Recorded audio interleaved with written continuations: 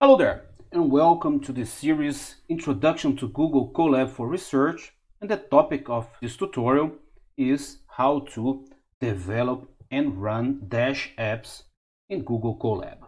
So Dash is a framework for building web analytic applications written on top of Flask, Plotly.js and React.js and it's a very good framework for building uh, data visualization apps with user interfaces in pure Python. So here you have dash.plotly.com, you have the documentation dash, and first we will look at Jupyter Dash. That is a library that makes it easier to develop Dash apps within Jupyter environments. So here also at github.com slash plotly slash Jupyter Dash, you find how to install and also some examples that you can launch in Binder, for example, and some more information about Jupyter Dash. So the first thing what we're going to do is to install Jupyter Dash in our Google Colab environment using pip. Or you can also use Conda. We have another tutorial explaining how to use Conda inside the Google Colab environment.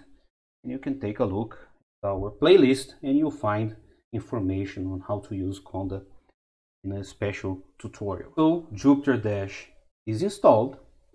And now what we're going to do is just to look at this example here that you can launch in Binder, for example, or you find some notebooks here. And there is a getting started IPython notebook. You can take a look. So we will just copy here. So we will import dash import dash core components and we will also use panda pandas in this example. So let's import and execute the cell. Next we will load and pre-process some data that it's available from this github copy here and run the cell. So now we have this pandas data frame. There's some table uh, loaded a CSV file into a pandas data frame. Now we will construct the app and build some uh, callbacks to interact. So here we are using an external style sheet that it's available from here. Here there is this app using Jupyter Dash and we are using this external style sheet. Then we have some layout and we have some HTML and there will be some drop down menus there will be some radio items. We define some styles another div. Here we have some callbacks. Here's some update graph callback. Here function to create a time series another callback. So let's copy this paste into our google colab and run we have a problem here that Jupyter Dash is not defined because here we didn't import Jupyter Dash. So I forgot to import Jupyter Dash. So let's import it. Now we run this. Okay, everything seems to be looking good. And now we want to display inline. So we will run server using this inline so we can see inside a uh, Colab notebook cell. And we can also run the server and this will display an URL and then we can use ngrok to tunnel and we can also access uh, externally. But first let's run inline. So it's loading. And now we have here the uh, nice dash app can change scales. We have this hovering tools.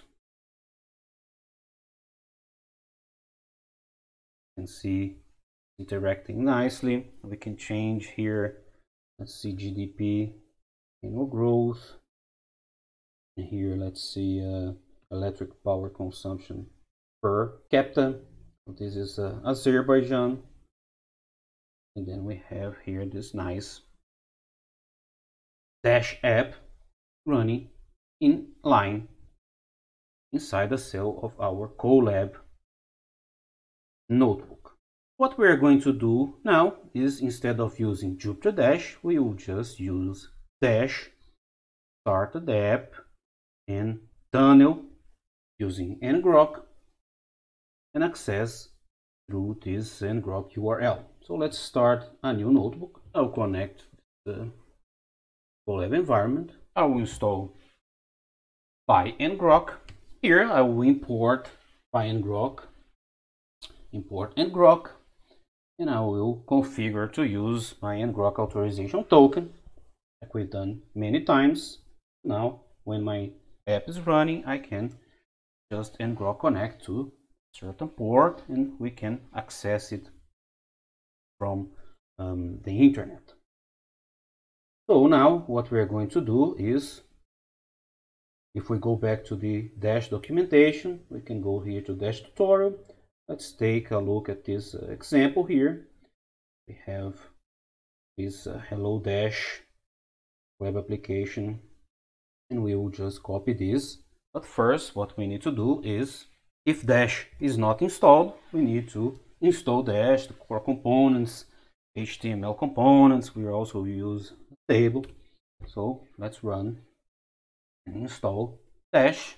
Now we will write a file test app.py and here we are going to put code for our app that we're going to copy from this example here.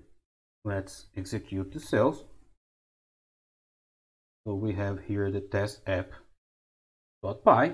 Here we are using the default port. We can change this run server and to change port. After we save this test app.py, what we'll do is we will tunnel ngrok connect to the default port with 850. You can change the default port here, change here this uh, run app server. You put different parameters. We will use the default port. So now it's tunneled.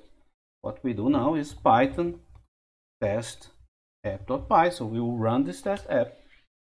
It will run on localhost on port 850, but we are tunneling localhost port 850 to, to this external public URL. So when we click here, you will have our Dash app loading. We have Hello Dash, which is this example we've seen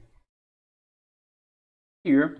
We just copied from here, example here.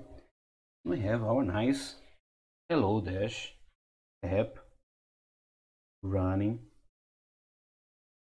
from Google Colab environment so if you go back here to the documentation and you find present for example, the Dash App Gallery, you have a lot of uh, examples here and you access the code GitHub, there'll be Plotly Dash Samples app.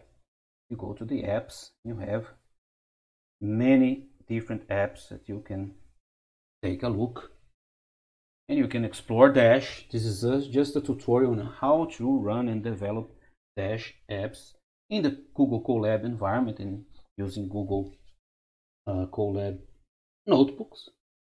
We can stop our app and stop the tunneling. So ngrok.kill